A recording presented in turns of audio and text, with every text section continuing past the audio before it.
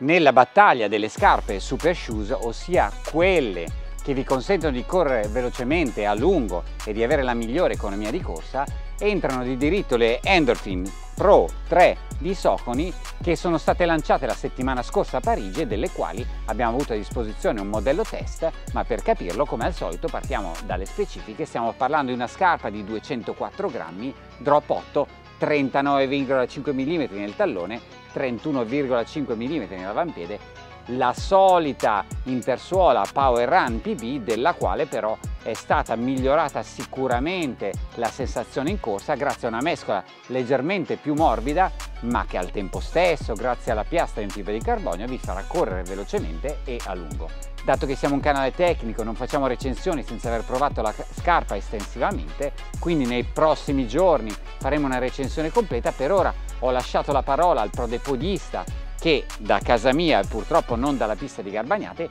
ci racconta pregi e difetti e le prime sensazioni di questa scarpa. Voi nel frattempo stay strong, keep running, iscrivetevi al canale nei prossimi giorni.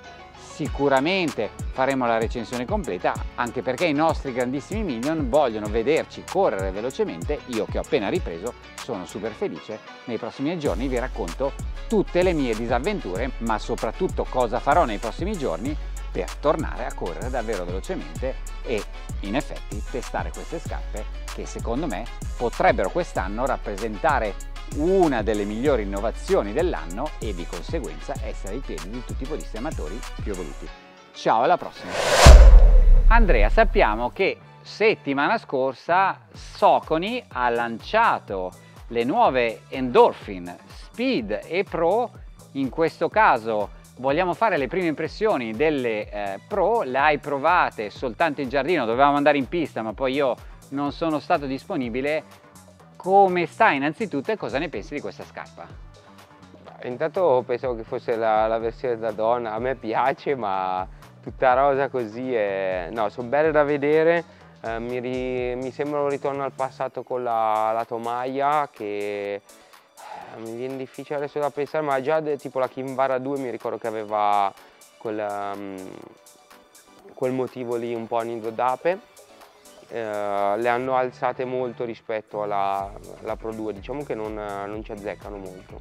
Ricordo vividamente il fatto che fossi andato a un negozio di Detroit a comprare le Kinvara 1 e quindi quando ho avuto in mano queste scarpe sono davvero stato molto contento, ma io te le lancio e poi eh, dimmi secondo te a chi sono adatte. Sei pronto? Ho paura che se le lanci così prendi la telecamera. E eh, infatti anch'io ho paura di questa cosa, te lancio quindi così, vai. È bello che le lanci sempre, guarda, guarda eh, sei pronto, guarda qua come si lancia. No, non lanciarmene, non eh, lanciarmene. Dimmi a, a chi sono adatte secondo te queste scarpe. Allora, intanto prese in mano sembravano molto più leggere delle altre, invece no, eh, sono praticamente identiche. Sono 204 grammi, eh, giusto per essere precisi. E la Pro 2 era? Poi metto sopra l'informazione. Non eri pronto alle mie domande. A chi sono adatte queste scarpe? Beh, sono scarpe adatte a chi, chi vuole correre forte, siamo sempre lì. Uh, le sfrutterà di più sicuramente uno che uh, corre sotto le tre ore in maratona per dire o o deve correre 1,25, 1,20 in mezza, in giù, eh, oppure chi deve fare 10 km sotto i 35, però eh, c'è tanta di quella schiuma che secondo me aiuta un po', un po' tutti.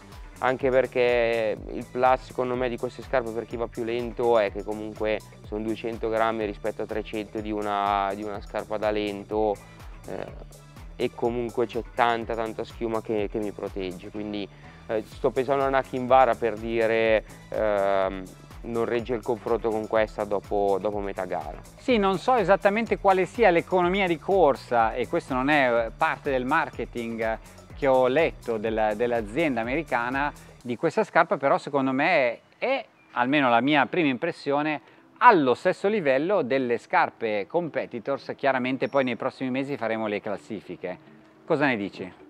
Eh, finché non le provo in gara non ti so dire se, se sono a livello delle altre, sicuramente rispetto alla Pro 2 hanno fatto un salto in avanti, eh, molto più scarpa da gara rispetto alla Pro 2, eh, hanno messo una mescola relativamente più morbida e molta più mescola rispetto alle Pro 2, quindi hanno fatto sicuramente un salto in avanti, eh, non ti so dire se a livello di, di Vapor o di Adios Pro 2, ma sì, potremmo essere arrivati quasi. Sì, beh, sicuramente noi facciamo dei test tra virgolette abbastanza precisi e ci vuole tempo per, queste, per questi test. Invece a livello di tomaia come l'hai vista e che sensazioni ti hanno dato correndo qua nel giardino?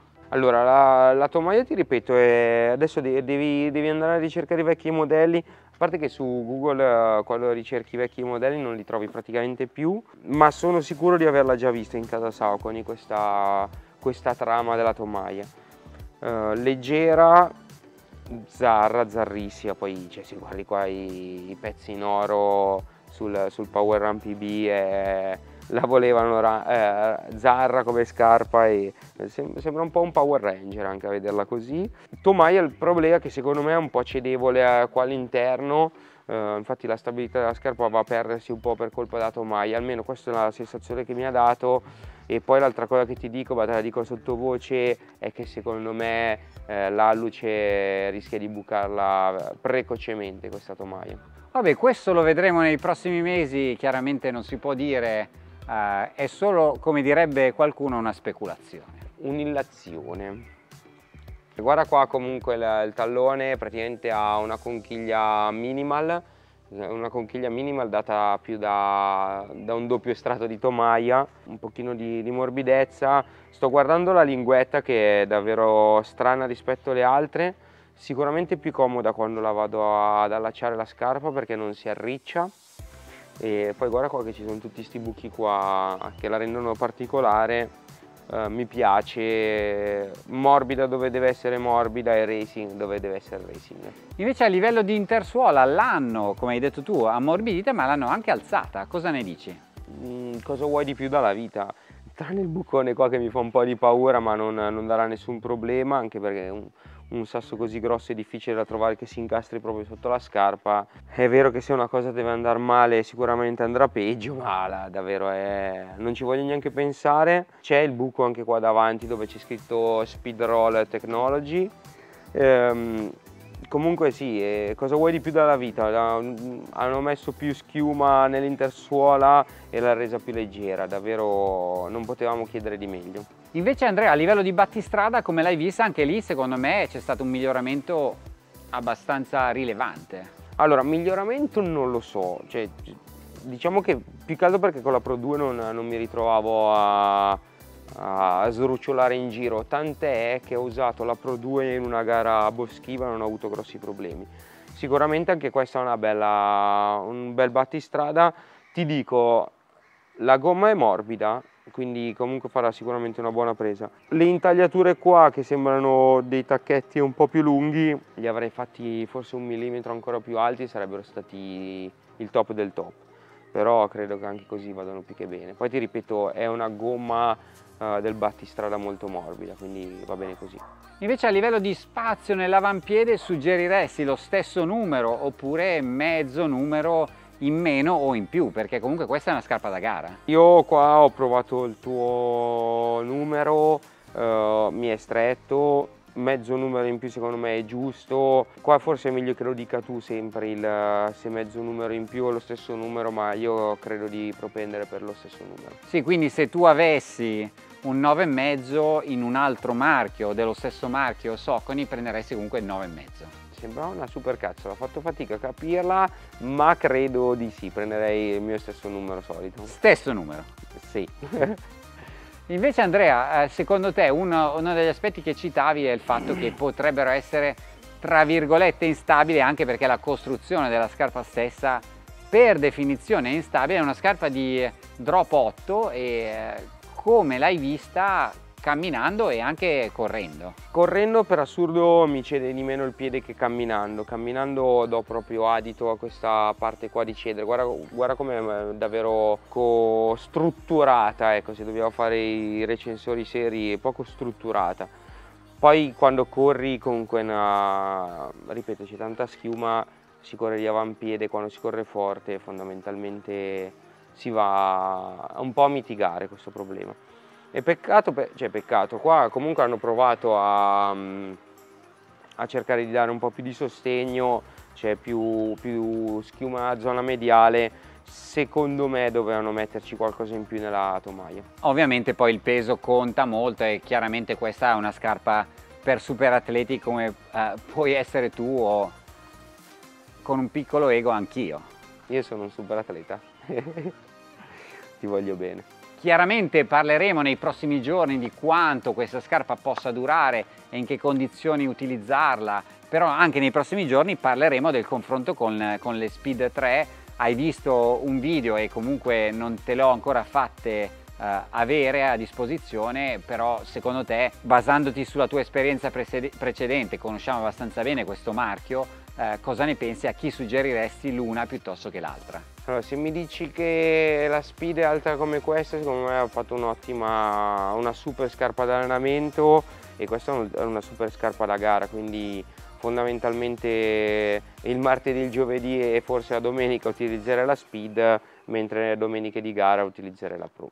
La speed è 36, questa è 39,5 ma gli speculatori dicono 39,9 chiaramente il prezzo è relativamente diverso, non è così aggressiva a livello di eh, rigidità della, della scarpa stessa, però credo che valga la pena utilizzarla per, per gli allenamenti. Poi la domanda che mi pongo è sempre, vale la pena utilizzare le super shoes anche per gli allenamenti oppure non, la, non, lo consigli? Io dico sempre, anche se sto facendo il contrario, che se c'è la possibilità di non usare le super shoes per gli allenamenti è meglio anche perché ti tieni il bonus eh, super shoes per, per le gare. Va bene, grazie Andrea, stay strong, ti, te la farò provare in qualche gara nei prossimi giorni, adesso facciamo il video, comunque ci vediamo alla prossima e chiaramente nei prossimi giorni ulteriori recensioni Soconi, azienda che sta crescendo molto a livello mondiale ma anche in Italia. Va bene e adesso vediamo la prima gara che si può la uso. Andiamo a prenderci un coffee? Sì e vi ricordo sempre i coffee perché ci sono le,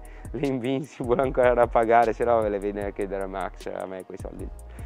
Grazie, Grazie, ciao. vi vogliamo bene.